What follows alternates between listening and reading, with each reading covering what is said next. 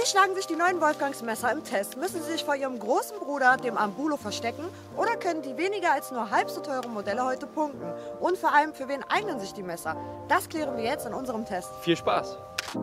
Die sind halt eher so für wuchtigere Sachen. Die anderen sind eher so in der Mitte ausbalanciert. Ja, mittig aus, ja genau. Ich glaube, das ist eine richtige Todsünde für Klingen. Und dann willkommen bei BD Venture. Wir sind wieder, Bassi und Diana, heute wieder für euch am Start. Heute haben wir wieder was ganz Besonderes für euch dabei und zwar zwei Messer aus dem neuen Wolfgangs Baukasten und zwei günstige Alternativen zum Ambulo, Ambulo und zwar das W-Flat und das W-Scandi. Wir haben die Messer vorab schon mal von Wolfgangs zur Verfügung bekommen. Aber ihr wisst ja, wir haben es auch schon tausendmal erwähnt, auch wenn wir die Messer zur Verfügung gestellt bekommen, werden wir euch immer unsere ehrliche Meinung zu den Messern sagen. Wenn irgendwas schlecht ist, werden wir euch das auf jeden Fall immer mitteilen. Ich kann es kaum abwarten, die Messer in Aktion zu sehen. Also, Handschuhe an und los geht's. Auf geht's! Ja, bevor wir die Messer jetzt gleich mal im praktischen Einsatz testen, habe ich jetzt hier mal alle vier Messer und die ganz neuen taktischen Scheiden nebeneinander gelegt. Ja, hier haben wir das W-Scandi, das W-Flat haben wir hier und diese beiden Messer aus dem W-Baukasten. Erstmal kurz zur Scheide selber, zum Holster. Ja, robustes Kunststoffmaterial haben wir hier. Rundherum haben wir hier so eine Lochbohrungen. Da kann man sich quasi ja, vielleicht Paracord oder irgendwas, dran befestigen und so weiter. Die Messer selber sitzen auch so an sich recht fest drin. Wenn man jetzt hier mal guckt, da rutscht überhaupt nichts raus, sitzen gut fest drin. Einfach nochmal, um ganz sicher zu gehen, ist jetzt hier noch so ein Druckknopf mit bei. Dann ist es halt sowieso bombenfest, da passiert einfach rein gar nichts. Ja, was haben wir noch Schönes? Hier ist noch eine Gürtelschlaufe. Sieht jetzt so an sich für mich ein bisschen kurz aus, aber das testen wir dann gleich, wenn wir das mal an den Gürtel ranhängen. So, würde ich sagen, kommen wir erstmal kurz allgemein zu den vier Messern. Fangen wir mal an mit dem W-Flat. Der Name sagt schon, wir haben hier einen modernen Flachschliff. Ah ja, jetzt haben wir scharf gestellt, super. Ja, ähm, ja, Klingfarbe in Stonewash mit schwarzem Griff. Messerrücken ist bei dem Modell komplett gerade. Ja, schöne Kombination würde ich sagen. Gefällt mir richtig gut. Ja, dann haben wir hier noch das W-Scandi in der Farbe Stonewash. Ne? Mit einem olivgrünen TPE-Griff. Die Klinge ist richtig schön wuchtig, kennt man auch schon vom Ambulo. Zum Griff selbst noch mal ganz kurz. Ähm, die Modelle haben hier so einen, ja, so einen Strukturgriff. Damit habt ihr die, die Messer auch noch mal sicherer in der Hand. Was uns auch noch aufgefallen ist, das Material ist deutlich fester geworden. Ja, wenn man das auch von den älteren Modellen kennt, da war, waren die Griffe ein bisschen weicher. Es muss irgendwie ein anderer Kunststoff gewesen sein. Haben sie auf jeden Fall nachgebessert. Das jetzt äh, merkt man auch, das wirkt alles ein bisschen solider. Ja, so allgemein würde ich sagen, es ist eine richtig schöne Farbkombination. Ne, mit dem olivgrünen Griff hier, Stonewash-Klinge, sieht echt hübsch aus. Hier daneben haben wir jetzt noch zwei Varianten aus dem W-Baukasten. Ja, der ist jetzt ganz neu bei Wolfgangs dazugekommen. Wenn ihr Wolfgangs Messer kennt, dann kennt ihr die Klingenform. Ja, der Baukasten an sich, der ist auch selbsterklärend, würde ich mal sagen. Da könnt ihr einfach mal selbst reinschauen und euch die Messer mal so zusammenstellen, wie ihr euch die ja, wie es euch selbst am besten gefallen würde. Den Link dazu zum Baukasten findet ihr wie immer unten in der Videobeschreibung. Diana, mich würde jetzt mal interessieren, mit welchem Messer wir jetzt starten? Mit dem Scandi oder was? Ja, Scandi war wieder klar, gefällt dir doch am besten, ne? Natürlich. Ja, na, mich würde mal interessieren, wie sich das damit hacken lässt, ne? Ja, die ist ja schon doch kopflastig, würde ich sagen, die Klinge. Ja, Im Vergleich mit der anderen ist sie deutlich kopflastiger als die anderen. Die anderen sind eher so in der Mitte Ja, ausbalanciert. mittig aus, ja genau. Wenn man das hier so nimmt, da merkt man schon, dass das eher so, die, das Messer möchte eher so nach vorne vom Gewicht. Ja. Und die anderen sind eher so mittig ausbalanciert. So, Maße, Gewicht und so weiter seht jetzt alles hier nochmal eingeblendet, wenn euch die ganzen theoretischen Sachen interessieren. Ja, jetzt würde ich sagen, jetzt wollen wir erstmal sehen, was die Messer können und starten einfach mal in den praktischen Teil. Auf geht's. Basti, du bist dran, du darfst dich beim Holzhacken austoben. ich dran? Basti, Ja? du darfst dich jetzt beim Holzhacken austoben. Bin ich dran? Ja. So, endlich geht's ans Hacken, Freunde. Ja, was macht man denn beim gemütlichen Overnighter im Wald oder am See? Ne? Vielleicht mal ein bisschen Holz zurecht, dass man sich ein bisschen was hackt oder betont, um Brennholz zu haben. Ne, ist ja nicht auch genauso möglich, einfach einen Ast zwischen zwei Bäumen zu zerkleinern oder so. Oder sich ein Beil mitzunehmen. Oder sich einen Beil mitzunehmen. Nee, wir wollen ja gucken, einfach, wie machen sich die Messer, wenn man die ein bisschen malträtiert, sage ich mal. So, ich fange jetzt an mit dem orangen Messer aus dem Baukasten und hack jetzt einfach mal wie so ein Weltmeister drauf los und, und guck dabei einfach mal, wie sich das Messer macht. Ja, ich würde sagen, das brauchst du nicht verstecken. Gucken, wie sich das Flat anstellt. An einer anderen Stelle sagst du. Dann machen wir das an einer anderen Stelle. Ja. ja dadurch, dass die Klinge auf jeden Fall ein bisschen schmaler ist, hat man eher so eine Feinschnitte. Ist halt nicht so für so eine wuchtigen Sachen gedacht jetzt. Aber ich muss sagen, die aus dem Baukasten hat sich ein bisschen besser gemacht. Ne, mit der Flatklinge hat man eher so das Gefühl, dass sie so eine, ja, so eine sauberen Schnitte eher setzt, ne, weil die Klinge halt auch ein bisschen dünner ist. So, einmal die Scandi-Klinge. Selbe Stelle oder andere Stelle? Andere Stelle. Freunde, jetzt darf ich endlich die Scandi-Klinge ein bisschen hier austesten. Seht das an. Voll. Die hackt. Guck dir das mal an, da kann ich den ganzen, ganzen Ast mit durchhacken hier. Okay, das macht schon, macht schon gut Laune. Einfach drauf loshaken. Haben wir alle durch. Baukasten haben wir getestet, das eine. Das andere wird jetzt genauso sein, denke ich mal, oder? Sind ja beides dieselben Klingen. Gut, Holzhacktest haben wir. So, Basti, wenn du jetzt eh schon dabei bist, kannst du ja gleich mal ein paar Heringe schnitzen. Ein paar Heringe schnitzen, ja. Oder Wunderbar. einen. einen. Gut, als erstes nehmen wir wieder das Baukastenmodell, das Orangen. Obwohl, nee, das Orangen hatten wir eben schon beim Hacken. Jetzt nehmen wir einfach mal das in Olivgrün. Ich hacke jetzt hier einfach mal ein Stück kurz durch. Und ich glaube, das wird, guck dir das an, ja komplett morsches Holz. Das kriegen wir, glaube ich, nicht geschnitzt. Habe ich dir morsches Holz gegeben? Jan hat mir morsches Holz gegeben. Ich Warte, ich tue schnell was anderes. Achtung. jawohl. Das sieht doch schon mal besser aus jetzt. Gut. Ja, wie gesagt, das Baukastenmodell in Olivgrün. Mal schauen, was wir hier Schönes mit hier schnitzt kriegen. Schön hinten ansetzen, dass wir auch schön wieder Kraft aufwenden können hier. Fühlt sich gewohnt gut an, muss ich sagen. Jetzt nehme ich einfach nochmal, was habe ich denn hier Schönes? So. Ähm, ja, das Flat-Modell. Gucken, ob wir damit auch schnitzen können. Ja. Das gefällt mir besser beim Schnitzen sogar. Welches? Die Flat-Variante. Ja, Ja. weil die äh, Klinge ein bisschen dünner ist, ne? Ja, die wirkt, dadurch, dass sie dünner ist, so ein bisschen filigraner und ich habe das Gefühl, du kannst damit so, ja, so feiner schnitzen halt. Ja, ich setze die Einkabelung jetzt einfach mal hier hin. Ich komme mal zu euch ran, dass ihr auch was seht. Ja, Kerben schnitzen, gar kein Thema. Also für so eine Feinarbeiten ist die Flat echt gut, die Flat-Klinge, muss ich sagen. Ein Modell aus dem Baukasten. Ja, so Kerbenschnitzen und so fand ich jetzt eben mit dem Flat irgendwie geiler. Jetzt habe ich ja den, den direkten Vergleich. Ja, das sieht auch nicht so schön aus. Das sieht nicht so schön aus wie eben, ne? Und ich mache ja irgendwie. Das ist halt hier auch möglich, halt Kerben mitzuschnitzen, ne? Eine Sache haben wir jetzt ausgelassen, das Scandi. Ey, ohne Spaß, diese Klinge, die will einfach direkt komplett durchs ganze Holz durch. Die will gar nicht irgendwelche Anstalten machen, die will direkt durch. Das Scandi jetzt haben wir schon zu oft gelobt. Na, ich muss sagen, gut, äh, Scandi und die Flat, ne? Scandi und Flat gefallen mir am besten bei der Aktion jetzt hier. Du hast richtig förmlich dieses Gefühl, dass sich die Klinge da richtig reinbeißt. Du kannst quasi so eine feinen einzelnen Schuppen, Schuppen da reinschneiden. Jetzt will ich trotzdem mit der nochmal so ein bisschen anspitzen. Die beißt sich direkt da durch. Was ist denn da los? Da darf ich gar nicht so viel Kraft aufwenden, weil die direkt durch will. Sehr schöner Hering, Basti. Sehr Das, schön. das ist der schönste Hering der Welt wahrscheinlich. Ja, ich glaube, man sieht, dass das dass die Scandi-Variante, die will ja förmlich. ja, äh, Schnitzen funktioniert sehr gut. ja. Bei dem Flat, bei der Flatklinge, wie gesagt, für filigrane Arbeiten, wenn man da irgendwie, ja, vielleicht mal irgendwas Schönes, was Feines schnitzen möchte, wo man wirklich darauf achten muss, dass man nicht zu viel Material wegnimmt, ist die Flatklinge wahrscheinlich die beste. Ne, wenn man aber irgendwas schnitzen möchte, so wie jetzt äh, einen massiven Hering oder so, würde ich sagen, dass die Scandi-Klinge am besten ist. Einfach weil du damit innerhalb von kurzer Zeit ziemlich viel Material auf einmal wegnehmen kannst. Ne? Muss aber sagen, die Modelle vom Baukasten jetzt, die stehen sich auch in nichts nach. Also die kann man genauso gut nehmen. Mir persönlich gefällt die am besten. So, Basti, und weil du jetzt gerade so schön in Fahrt bist, kannst du dir ja mal ein bisschen Paracord nehmen und einen Schnitttest mit Paracord machen. Machen wir doch. So, weil wir jetzt schon beim Scandi sind und weil ich das auch schon so hoch gelobt habe jetzt die ganze Zeit, ähm, fangen wir damit auch jetzt direkt an. Ja, ich würde gleich vier Stränge oder fünf Stränge nehmen. Vier oder fünf? Ja, Ja, gut. Ich mach mal, fang mal hier an. Mal eins haben wir. Vier nehmen wir erstmal, oder? okay. Nehmen wir vier. So. Seid ihr bereit? Drei, zwei, eins. Easy. Der hätten wir doch fünf nehmen können oder sechs oder sieben oder acht oder das ganze Bündel. Nein, so. Scandi haben wir, jetzt haben wir die Flat. Eins, zwei, drei, vier. Und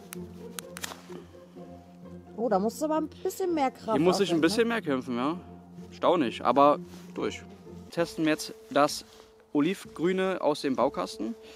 Schön hinten ansetzen, dass wir schön Kraft aufwenden können und. Aha. Hast du gesehen, oder? Ja, da musstest du ein bisschen viel Kraft. Da muss ich ganz schön viel kämpfen jetzt, ja. Nichtsdestotrotz sind wir durchgekommen. Und auch ein sauberer Schnitt, ne? Ist ein sauberer Schnitt geworden, ja, würde ich sagen. Just for fun, nochmal das äh, Orange, ne? Aus dem Baukasten. Okay, 3, 2, 1 und. Ja, sauber, aber auch wieder mit Kraft, ne? Ja, ein bisschen, ja, so wie bei dem, wie bei dem Olivgrün jetzt eben. Ja, kleines Zwischenfazit zu diesem Schnitttest. Wer hat am besten abgeschnitten? Lustig. Für mich Platz 1 die, das W Scandi, dicht gefolgt vom W Flat. Da muss ich einen Ticken mehr Kraft aufwenden. Auf Platz 3 sehe ich jetzt hier ja, das W-Modell aus dem Baukasten. Da musste ich wirklich noch einen Ticken mehr Kraft aufwenden. Nichtsdestotrotz haben sich alle dabei gut geschlagen. Aber wie gesagt, mir hat jetzt hier das W Scandi am besten gefallen. Wir starten schon gleich mit dem nächsten Test. Und zwar werde ich mit allen Messern einmal ein Stück Holz betonen. Äh, allerdings werde ich von dem Baukastensystem nur ein Messer nehmen. Im Endeffekt sind es ja dieselben Klingen. Ich starte direkt mit dem W Scandi. Mal schauen, wie schnell das Stück Ast durch ist. Ähm, ich brauche mir keine Sorgen machen. Wie schon erwähnt, sind alle Messer Full Tank.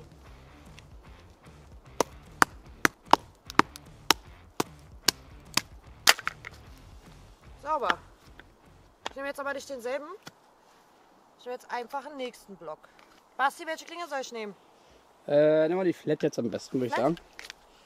Okay. Was ist mit meiner Stimme auf einmal los, ey? Komplett heiser auf einmal. Mal schauen mit dem Flat. Ja, ist die Klinge nicht ganz so breit, ne? Ja.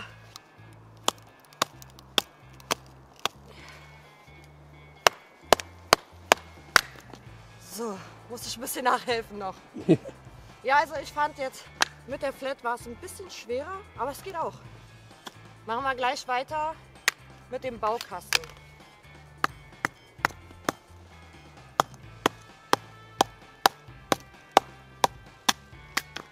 Boah, das ging jetzt schnell. Easy.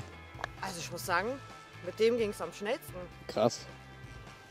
Wow. Nicht schlecht. Er ist mit meiner Stimme los.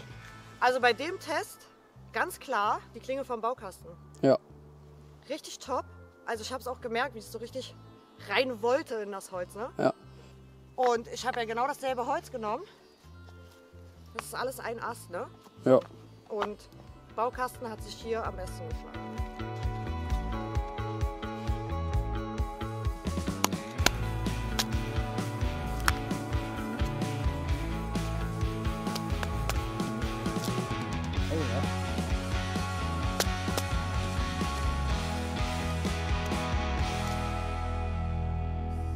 So, Diana hat schon mal ähm, Holz betont. Ihr hört es an meiner Stimme.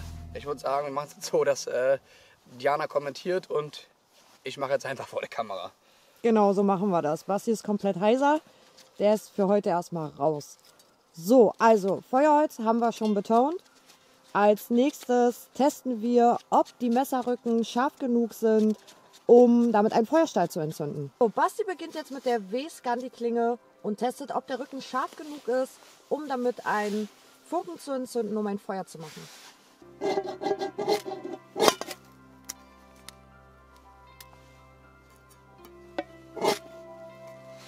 Und die Methode funktioniert auf jeden Fall ganz gut. Würde ich sagen, nehmen wir gleich das nächste Messer. Basti testet jetzt das W-Flat.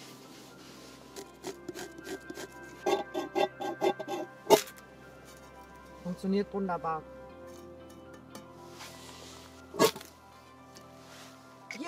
von der Klinge auch perfekt für. Passt.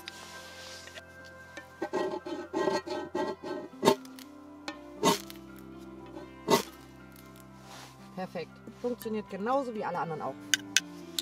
Unser Fazit, mit allen Messern kann man perfekt ein Feuer entzünden mit einem Feuerstahl.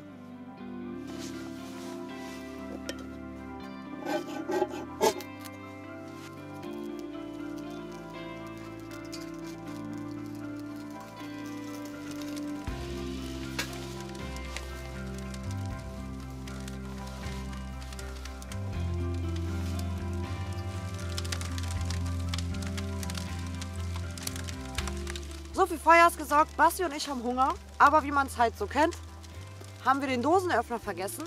Aber wir haben ja die Messer dabei. Jetzt probieren wir, ob die Messer scharf genug sind, um eine Dose zu öffnen. Ich glaube, das ist eine richtige Todsünde für Klingen. Ja. Aber wir wollen die ja hier auf Herz und Nieren testen, ne?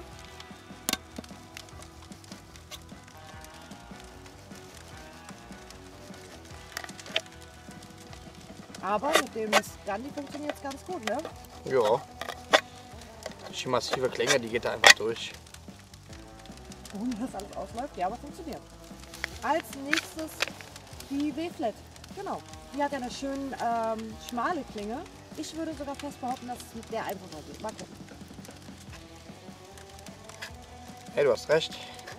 Ja, dachte ich mir schon. Geht einfacher mit der? Ja. Jeden Fall. Oh, Todsünde. Die arme Klinge, ey. Hey. Okay, ich würde sagen, vielleicht das nächste Messer vom Baukastensystem.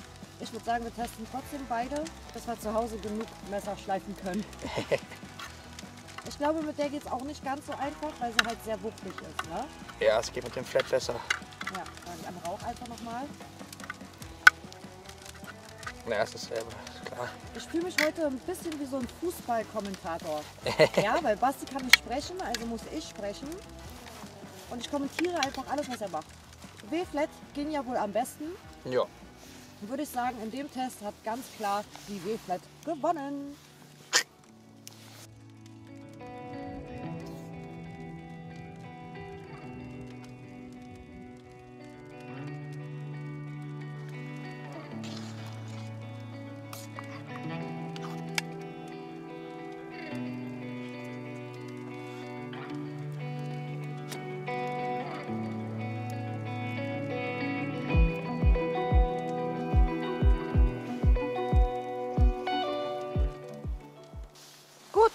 Also zum Fazit. Jedes Messer hat seinen eigenen Zweck.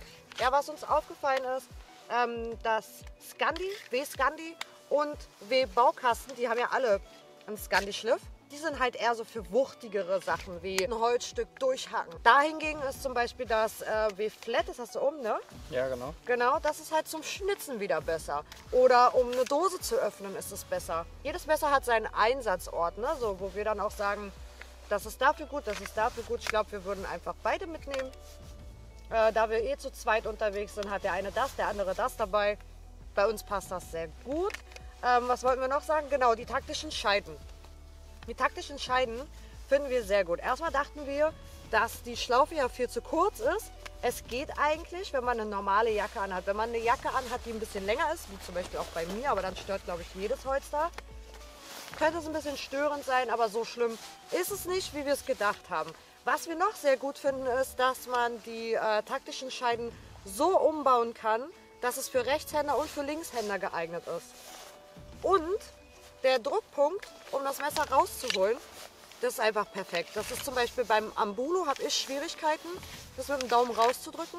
Bei dem sind die Kanten so gut abgerundet, dass es selbst Kinder leicht rauskriegen Äh, würden. Kinder, äh, Kinder haben uns auch. Ich kann nicht reden. Ja, Basti kann nicht reden. Deswegen rede ich jetzt einfach die ganze Zeit. Was uns auf jeden Fall fehlt bei den äh, taktischen Scheiden ist ein Drainageloch.